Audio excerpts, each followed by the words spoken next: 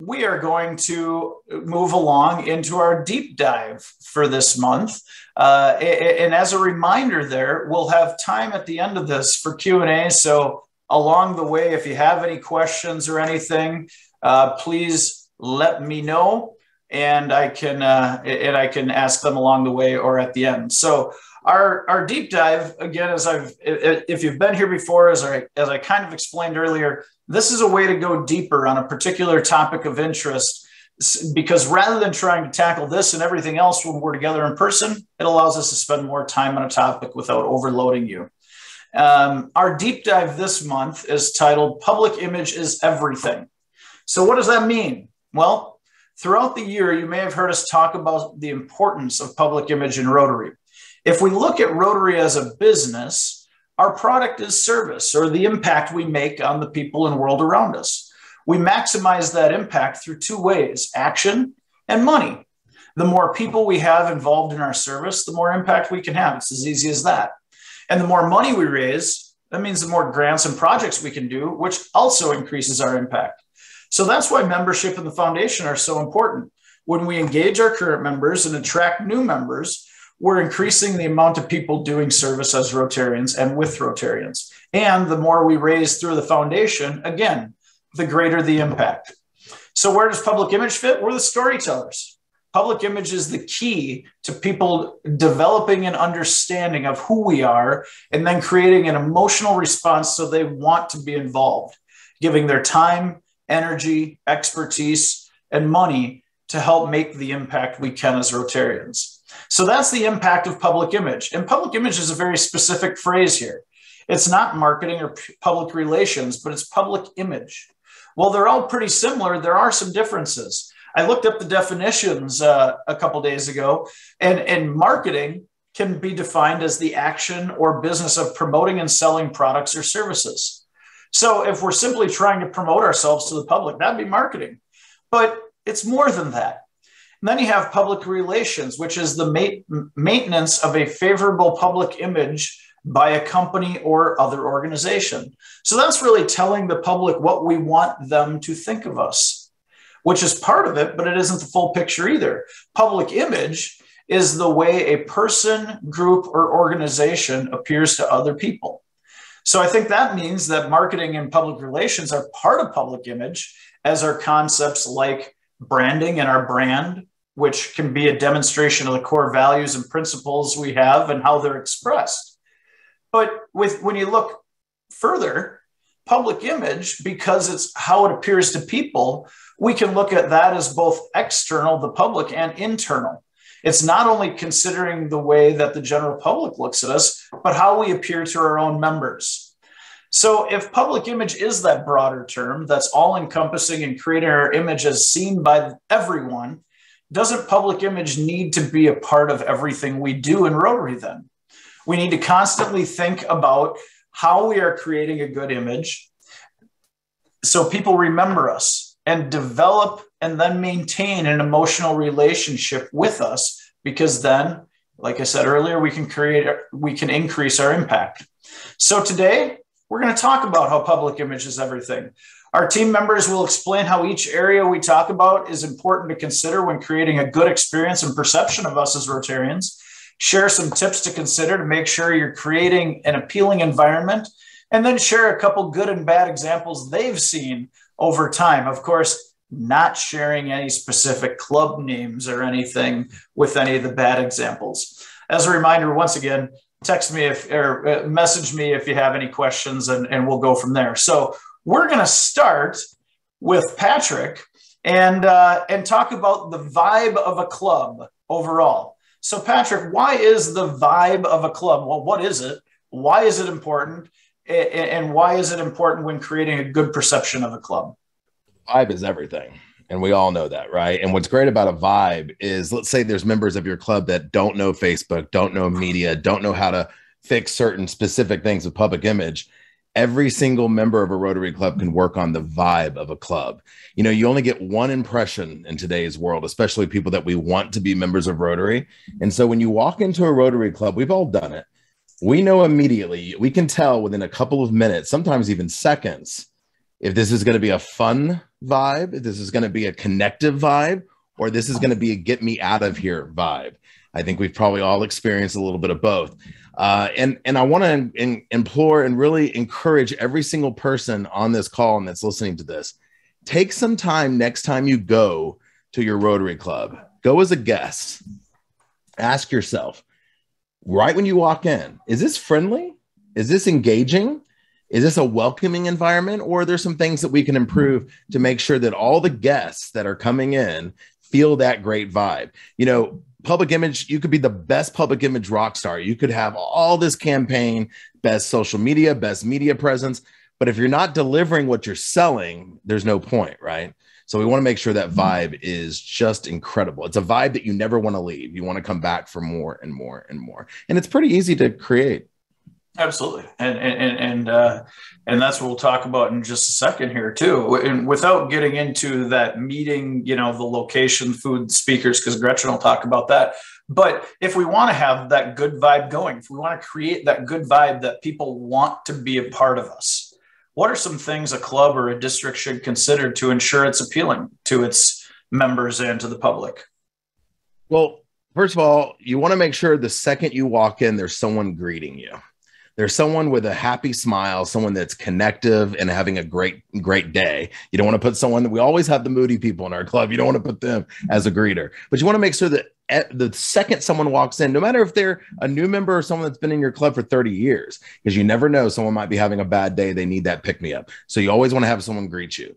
Then when you walk in, I think this is something that a lot of Rotary clubs don't think is important, but to me, it's everything. If I walk into a club and I ha- I see a 1980s banner and the badges look like they haven't been dusted since 1976 and you know i'm immediately going wow okay i'm walking into something interesting whereas if i walk into a, a, a club that the members are excited. And they're wearing their badges proud and everything looks really beautiful. And the and all the branding is master branded which i do think is important. Uh, i'm going to go okay this club takes pride in what they do. Now if you're listening to this and you're like what do you mean? I still have the old badges. I'm not trying to say that your club doesn't take pride but these are some things that innovators in our community look for when they walk in. That's that's part of their vibe is seeing what does it look like? What does it feel like?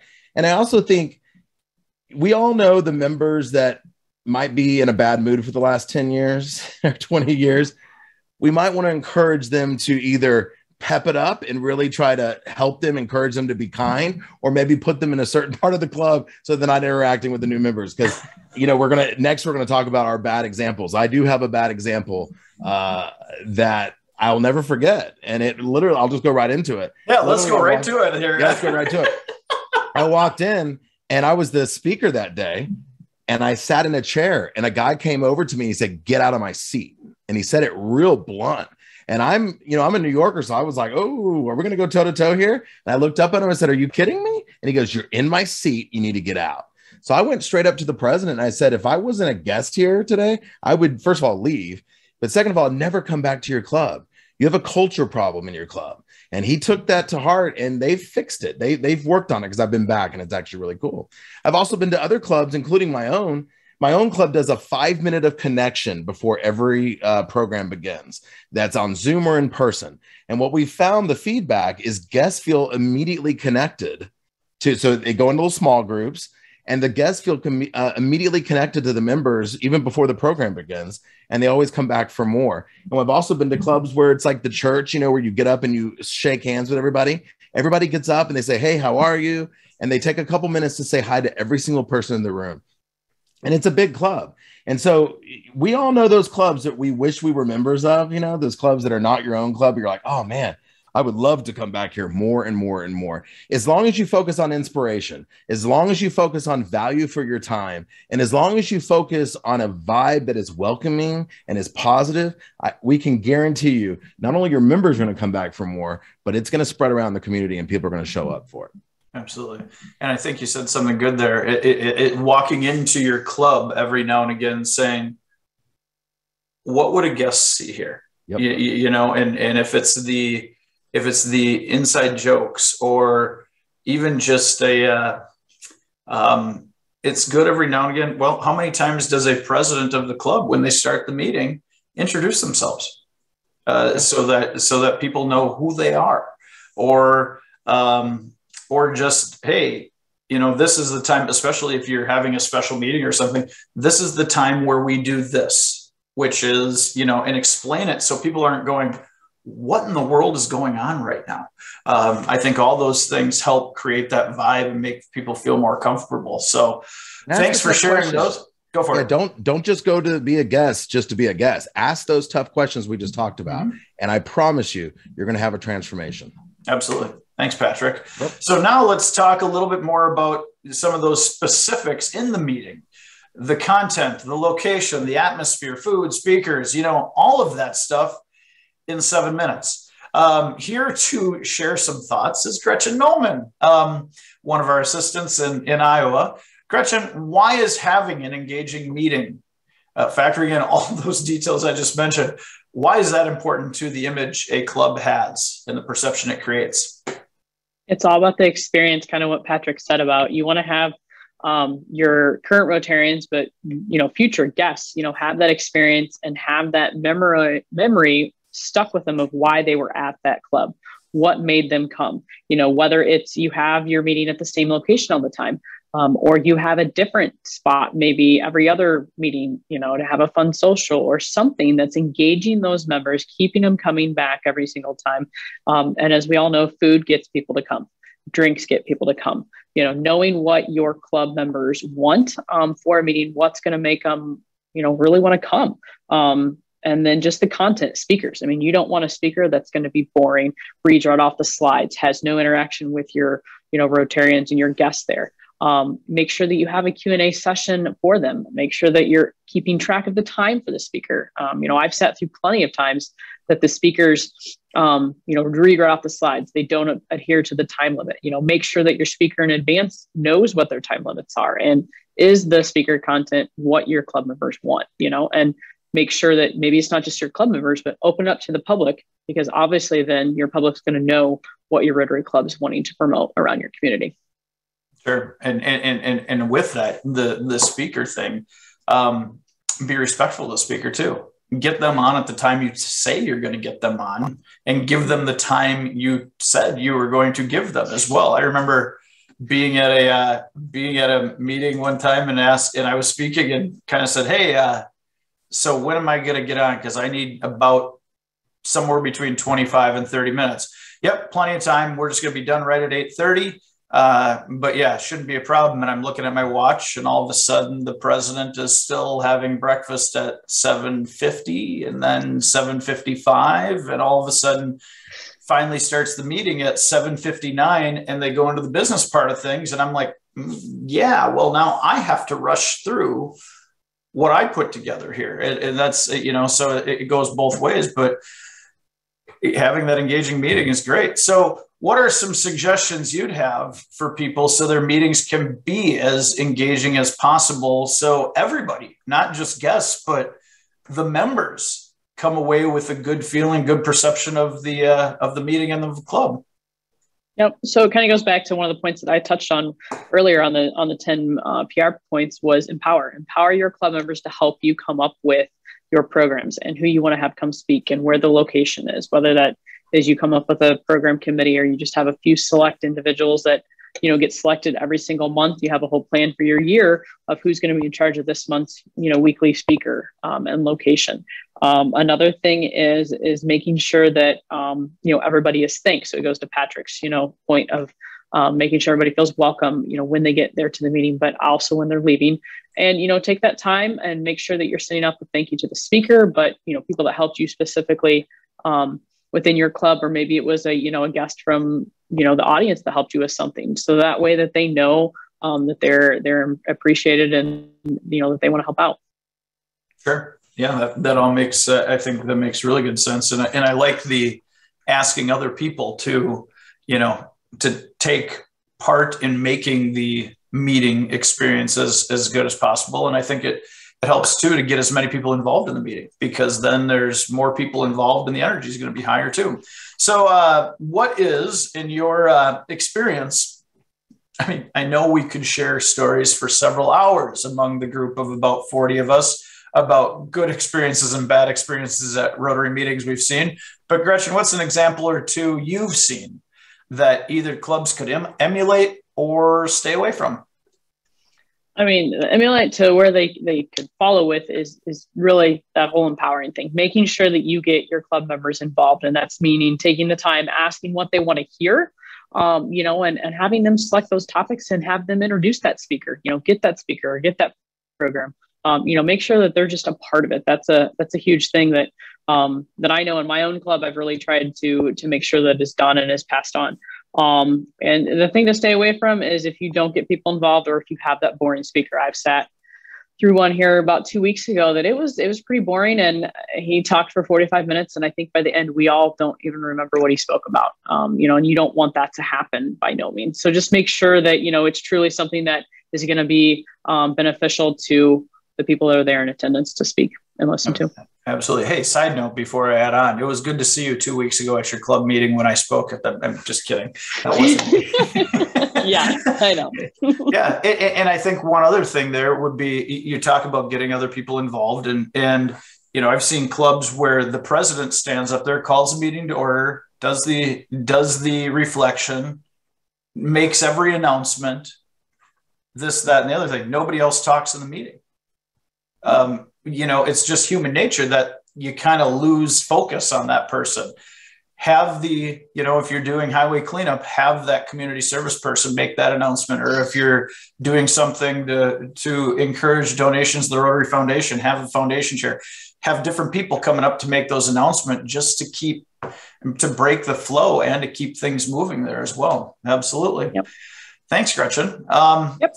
Let's talk. Uh, so, another way we can talk for hours here. Let's talk about the web presence and visual identity of a club. And here we're, we're actually going to have our two, two of our website and just web experts, Sean Barry and Hunter Byington, both talking to us here because frankly, when I put this together, I couldn't slight one for the other. So Sean, we'll start with you. If people, we, if we want to give people a good, per, or we want people to have a good perception of us, why is our web presence so important? When potential members overhear a conversation, see a sign or a, potent, or a promotional ban- banner, or see an interesting event and so on, the first thing they do is grab their phone and they search for your club. Most of us and potential members have one with them at all times. We want to make sure you have a presence on the inter- internet with their website and social media. The bare minimum a club should have is a landing page for the public to learn about your club. The page should include pictures of your activities, since most people like visuals, but not pictures of you sitting around a table eating or drinking. A brief description of your club and what you do for your community and around the world. A calendar with current events and social activities and a join us form. Yeah, I think those are all good ideas. And it's certainly something that we want people to be able to learn about us. And, and the way we all work at this point is we check it out online first. And I don't know how many times I've gone to visit other Rotary clubs if I'm traveling and I make the decision somewhat on which one has the most up to date website because that's probably going to be the most engaging club. So, Hunter, going along with Sean's comments, why is it important to then have a consistent messaging and brand working in lockstep with a up to date web presence? Well, the I'll go back to a story real quick of something we just did with uh, several clubs, in particular in 6440 and also uh, in your district. Um, we found that the clubs did marketing. They drove, they put the word out. They got people to show up uh, at their website. An interesting thing, we had 200 people that we sent to their website. Uh, but the sad thing, the surprising thing, was by not having a, a up to date web presence, not having some of the things that Sean just hit upon. We had 200 people, unique visitors, and not a single one of them said they wanted to come to lunch and see us. I'll, you want to know how important a web presence is? You've got to not only think about our, our old guard that, that we all make fun of, who we know we've got, but it's the young guard that we're trying to get to join us as well. And those folks have got to see what Sean was talking about a calendar that looks like something action oriented is happening, projects on there, things that they need to know about that they can come join and talk to us about. The other thing is, is, is just the pictures, talking about that web presence there as well. Uh, a lot of people have what I call uh, family pictures. You know, everybody lined up for, in a row and almost stair stepped. And those are the pictures that people see. We've got to do better than that. We shouldn't be doing family selfies, uh, but rather we should do pictures that show our clubs in action. Uh, even if it's given scholarships, get up there and congratulating and handing them something and, and talking about it and looking like they're engaged. So, web presence is very important, not only on your website, but it also works for Facebook. Put the same thing on Facebook, on website, and then finally, of course, uh, Instagram. Those are the three that people are looking at, and you need to be very solid in what you look like to the community. Absolutely. And I think you just answered my next question, which is what is it? What are a couple things you suggest Rotarians think about? So I'll have Sean answer that as well. So Sean, add on to Hunter there. And uh, what else uh, would you recommend people think about? You have to think as a potential member. When, you, when they find you online, make sure your presence is, is engaging and current, meaning keep your site up to date with this year's events meetings, and activities. Verifying all pages on your site have current and consistent branding. You can write a synopsis of the past presentations and provide a photo that was taken at the meeting. Or for future meetings, have a bio and a photo of your upcoming presenters and try to engage potential members to come check you out. You must keep your site fresh. If you don't have a web person in your club, Search your community for web designers, developers, or PR firms and ask them to join your club. Absolutely. Absolutely. Thanks. Um, and lastly, and again, I'm sure you guys can give plenty of examples on this, but what are some good and bad examples you've seen? And more importantly, what are a couple easy suggestions people could implement right away? Sean? Being the District 5960 public image lead, I've had the opportunity to go through all of our club's website, social media, and, and event media. And I've seen a bunch of rights and some wrongs. The wrongs I've seen have been old Rotary themes, two or three years old, to clubs creating non-compliant logos modifying the Rotary Master Brand. But I've also seen many clubs embrace my ask to update their materials to the current branding. It's not the new branding anymore. The current branding came out over nine years ago. As stated earlier, we want to make sure all of your promotional materials, including your website, your social media, print media, and signage have proper current branding. Consist- consistency helps people remember your club and our organization. If you need help updating your logos on your website, there's a video on the public, the zone public image for ClubRunner. If you still can't figure it out, ask us. We will help you. Absolutely. And, and we're not there to just be, you know, the Gestapo. We're there to help. And because we want we want you to be able to understand what's what's good and bad so nobody else says hey you got this wrong hunter what's a what's a good example you've seen and a bad example you've seen quick i don't know if i have good or bad but just two or three things to follow up on Sean. Um, one is he looked at all the websites. I, I want to first pray for him. Um, I'm not sure how that worked on his mental psyche, but when we did that with ours, I wanted to throw something at the TV. It was just really sad. But here's a couple of things I picked up. One, how many websites have an action button? They have a person, a place to click, a call to action for two things one is, hey, I'd like to come have lunch with you. when you look at some of these websites, you wouldn't even know they, they got together, that they wanted to see people from the community. In fact, you'd never know it. That's number one, an act call to action button. Two, a call to action for membership. Join us, which leads to number three. What Sean was talking about is laying the foundation. A lot of these uh, folks who play with their website, I don't know what tree they're in, but there really should be a uh, think of the website looking like a newspaper. It's got banner headlines. It says, "Hey, we just gave uh, ten thousand dollars to to somebody. You know, we did something that was important for our community with our high school kids. None of that stuff is up there. You have to dig to find it, and and you're going, huh? So going starting from the beginning, tying this together. Patrick pointed out, what's the vibe? What do you see when you walk in?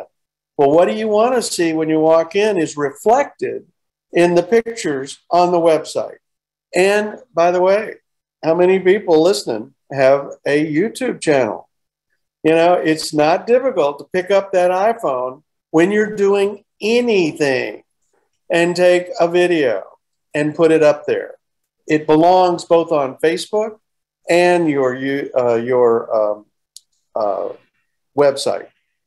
Perfect. I, I couldn't come up the negative, but I can come up with some things you ought to get doing as soon as we get off That's here. all right. That's all right. And I think uh, we could have taken that seven minutes and broadened it out into an hour or two session that goes deeper. Maybe we'll do that at some point on the do's and don'ts of online presence. But uh, we'll move on for now, just because. And uh, um, you know, we've talked about our meetings, our online presence, our vibe. Now let's start talking about some of our other activities and how they can affect the perception our members and the public have of us. We'll start with one of the tent poles, the projects that we do in our clubs. And uh, Gretchen, how do how do the projects we conduct in our clubs affect the way people look at us? Well, if you don't promote your project, they'll never know about your club. That's a That's, big pointer. That's a big one. Um, but no, when you're promoting your pro- project, I mean, you're pretty much telling your story of Rotary, what your club specifically wants to support, or there's a certain cause like in polio, um, whatever it might be that you want to make sure that the public knows and your community knows and the world knows that you're doing. Um, so really promoting your projects, I mean, it shows again, like I said, what your club's all about, showing that you care, what the causes are, what you want to support um, in that area. So then you have more followers, more people that want to become Rotarians just like you. I mean, it's it's so huge, huge, huge.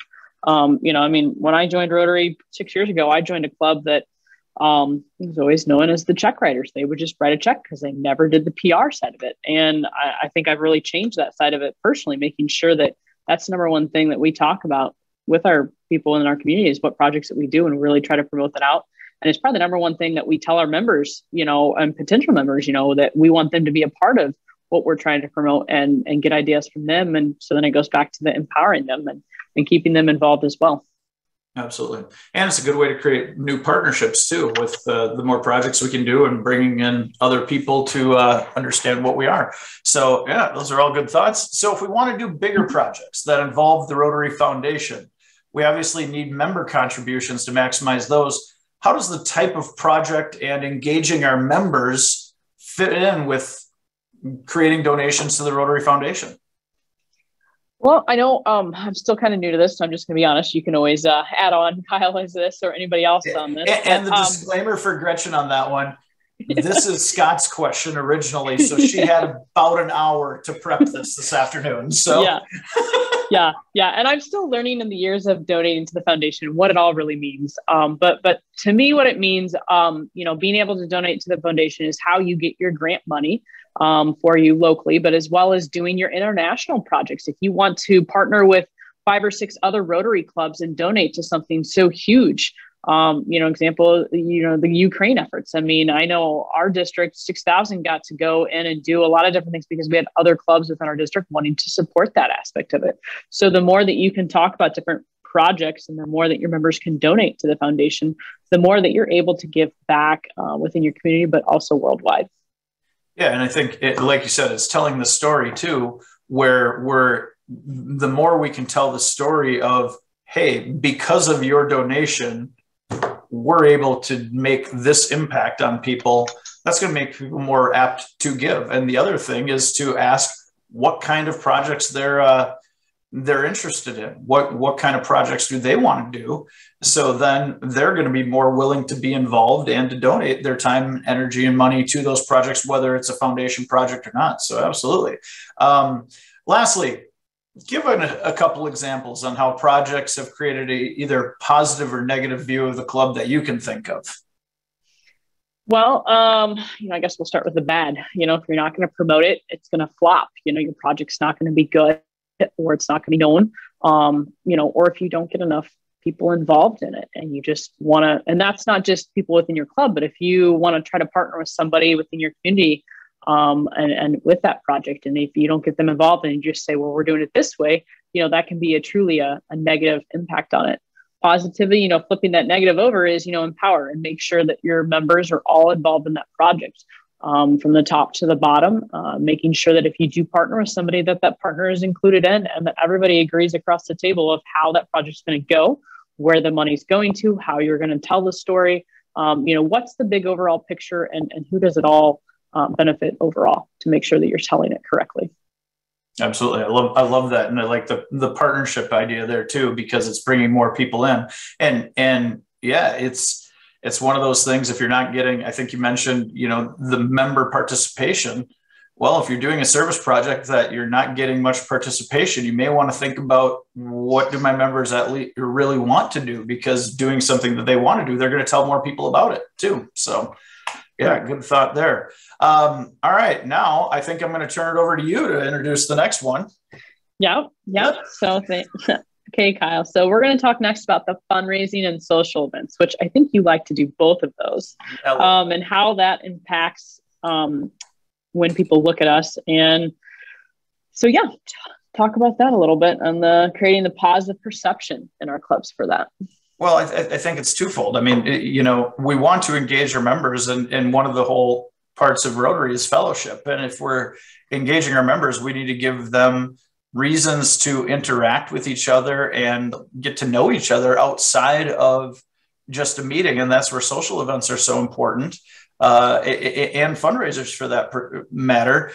Finding events that our members want to attend that they want to put in the work for for fundraisers, but that they want to attend. They want to invite their their uh, significant others, their families to for social events because you know a social event at in the evening is taking time away from something else they'd be doing. So we have to make sure it's worthwhile for them to give up their time and say, "Hey, honey, or junior, or whomever."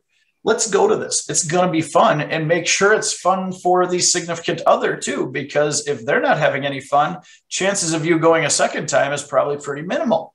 Um, so, so having events that are engaging, both from the social event side and the fundraising side of things, um, is, is, going to help increase member participation, member satisfaction. And then from a fundraising perspective, make sure that you are finding events that are um, engaging for the community as well. So it's not just your own members giving that money. Awesome. No. Um, so, I mean, you kind of segued into this a little bit, but what are a couple of things that you would suggest um, that we all consider to make sure when we are having those appealing events for our members and our attendees? Well, I think I, I think it goes back to like what you were talking about with projects and, and and what we've been talking about before. Common theme is asking our members what they want. Um, you know, if you are, you want to make sure you're having enough social events that they're appealing to everybody. Um, and it's not just, well, we're going to do this in one quarter or, you know, twice a year. And if you can't make it, can't make it. Well, that, that makes you not feel very good about things or having a small group of people that only plan social events that they like without thinking about the whole. Um, that's not going to get everybody attending either. And, and, the same thing with fundraising events. Figure out what fits into your community um, and uh, and what are what are interesting to your members, and do things there. And and we have to remember, even in the promotion of these things, we have to promote it as fun. It's not a uh, it's not just hey, come to whatever. No, you you want to come because of the you know it's going to be fun, and then have attendees afterwards talk about um, how much fun they had there because then the people that didn't go, it's going to be a little bit of fear of missing out. Yep. Nope. I fully agree there. So, what are some good and bad examples that you've seen at clubs in their fundraisers and social events that have gone good and bad? Well, I think I, I think from a social event perspective, and I got a kick out of this. Uh, a number of years ago, we had a, a president in our club. Um, uh, we've had enough presidents that I don't think I'm going to get in trouble by naming it, naming a club there. But uh, he was one of those that would make the announcement. He would tell you what the next person was going to be announcing um, from an announcement perspective. And he said, you know, so and so is going to come up and talk about that district meeting. Totally downplayed it. I mean, this was the district conference. This is a two and a half day event that many of us have been around Rotary enough. You know, there's a lot of effort that goes into district conferences and they're a lot of fun too. And he just says, uh, Kyle's going to talk about that district meeting. Well, what's the perception there? The perception is, well, that doesn't mean anything, and, and you're not going to have as many people go. Um, from a fundraising perspective, uh, a number of years ago, I was doing a, a fundraising breakout at one of the president-elect training, and um, before I before I started, uh, this guy from a club was just bad mouthing their rose sale and talking about how nobody in the club really was engaged and only like 30% of their membership actually sold any roses and da da da da da da da da. Um, well, that's not a great event. Now, the funny part was later on when I said, So, what are good things about your fundraisers? And he raised his hand and said, Everybody loves roses. And I went, Do they? Because you just told me 30% of your club members are the only ones active. Well, how is that going to uh, to appeal to a greater audience? Um, so things like that, making sure that that you are asking and, and, and being okay with building on an event. Um, you know, and, and, we've talked plenty about fundraising, so I don't really want to go there, but but build over time and always look at, well, okay, how could we have made that better? And and the other part, and I learned this when I was our club president, we did a monthly 501 club, meet at 501 at a bar once a week or once a month for just everybody getting together socially. And about 20 of our 70 members would come and it was starting to really irritate me uh, because the other 50 weren't there. And I, I finally shifted. I said you know what? I'm not going to worry about who's not here.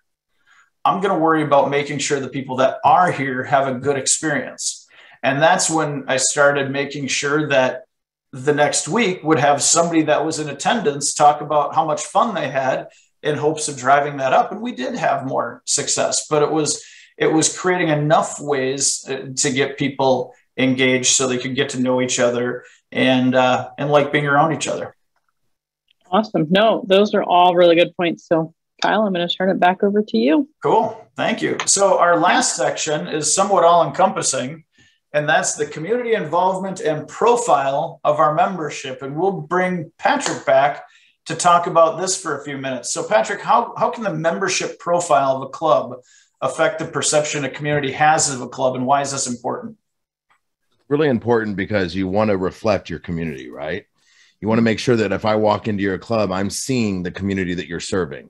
So again go back to your club as that visitor that guest. That's one of the best tools you can take away today because you're going to be able to hear everything we've talked about and you're going to see the little spots the the successes and some of the things you can work on and ask yourself does my club reflect what my community looks like and is and wants to be. Um, also, what are your members? Do you have the powers that be of your community? Not only just the political powers that be, but the best teachers, the best entrepreneurs, the best sanitation, the best cooks, chefs. You want the chefs, right, Gretchen? You want that food to be good. But seriously, get the people in your community excited so that they want to be part of the center of service of their community. And that in the next year, you might already have this in your club, especially the smaller communities, but even the big, big, big cities like Chicago, Austin, Minneapolis, etc. Uh, Fort Worth. I see John here. It's like literally you can you can make sure that even in your little neck of the woods in your community in a big city reflects the neighborhood that you're in that you're serving. So I hope that answered the question. It's really important. Absolutely, absolutely, it does. Um, and uh, Oh, I lost my. There's my. Okay. This yeah. is a page break on the script there, and I, I got confused. So, if we want our membership to help elevate the perception we have, what are some things we should consider? Well, here's here's a big kicker that I think a lot of Rotary clubs, when they hear it, you see the the light bulbs going off uh, in everyone's minds. Are your are your projects in your community that you've been doing for year after year after year still relevant to the community? This is one of those tough questions you have to you know sit back and ask. I'll use an example. And this is no offense to anyone that does this project. It's just an easy example. Imagine you've been doing uh, dig, dig, uh, dictionaries for a long time, like for years and years and years and years, and the local school district just doesn't have the heart to tell you, "Hey, we've got tons of them already, but thank you so much. Instead, they just take it, they smile, they say thank you. What if you went to the school district or went to your community projects and asked the community, hey, guys, does this still work or what else is going on? What do we need to, to help fulfill? What do we need to, to, to work on to make sure the community is strong? When the community hears that you're willing to adapt and improv and make things happen, which is what Rotary is all about, it will be the best public image you have in the end that we've talked about because when the community walks around and says, Hey, the Rotary Club of X, Y, and Z, they solve the problems of the community. They're there for us in times of triumph and tragedy. They're there. That is going to be something that all innovators in the community want to be a part of that center of service. So I really think ask yourself those questions. What are the projects that we're doing in the community? Are they relevant today? And what can we do to step it up and make sure that we're fulfilling the needs of the community? Uh, so, and also, if you are struggling with the fact that some of your members in the com- or some of the community is not reflective in your club, go out to them and say, "Hey, we want to work with you guys. What do you need in the community? What are your things? What are your passions? Go work a project with the community that is a part of a part of the part of the community that you don't have represented. I guarantee they'll want to come back for more. Also, ask them to come speak at your club as a program and just say, hey, talk to us. Who are you? What are you about? And how can we start being connected more? It works. This stuff works. It's not hard. And I think I think that's a very good point because it's it's not just in like you said the center of the service in your community and and going out and asking them hey what can we do to help it's not only going to give your club more ideas where you can be more relevant in the community but it's also positioning yourselves as the organization that others will come to when now all of a sudden they have a new need in the community and they'll go, gosh, who can help us? The Rotary Club can. And they'll start proactively reaching out because they have that positive perception going, you know, they came to us and asked us proactively. Now, now we feel comfortable going to them because you've already opened that door. Um, do have one question that I need to go off script here a little bit. You said the light bulb going off, and Pete Bosch asked in the chat, why does that why does a light bulb going off and going on mean the same thing? But we can we can i have no idea. Yeah there you go. Okay good good answer on that in my teleprompter told, i just read what's in my teleprompter. No okay. he, he also um, told me to ignore that question and i said i didn't want to.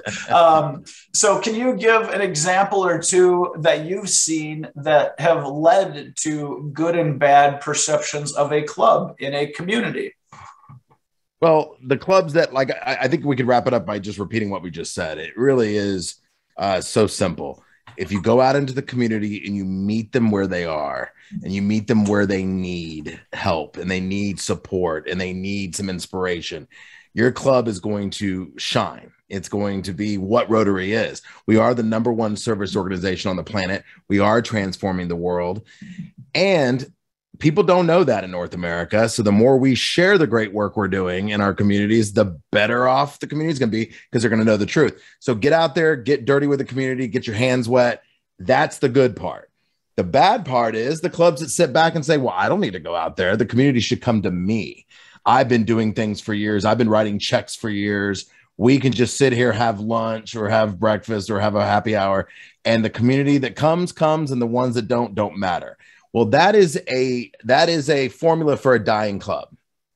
Uh, that is a club that will fall at some point. So I strongly recommend it if you have that in your club, get it out of there because at the end of the day, excuse me, at the end of the day, uh, it's about who's involved in the community is what matters. And I'll, I'll leave with this. Sorry, here comes my cough.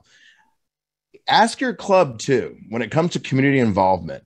Ask your members through a private, you know, anonymous survey what are the community involvement projects they care about?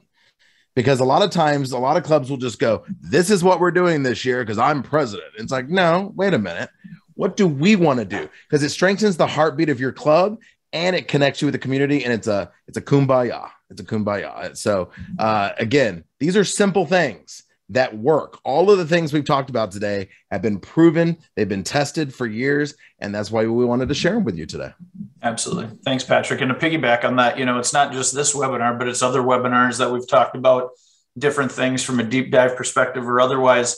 Um, we talk about fundraisers. Well uh, in March, uh, Amber Scarborough, who couldn't be here, and I, uh, we we did 45 minutes on on effective fundraising and everything. That you can go back and watch that video on our dis- on our uh, Public Image Resource Library webpage, which we'll send a link on. And uh, I think it was in January or February, we, we uh, spent 15 or 20 minutes talking with Alex Johnson about those service projects in the community and how that can lead directly to bringing more members into the club because it, and Alex is here today, but uh, it, it's a great way to promote your club to the community.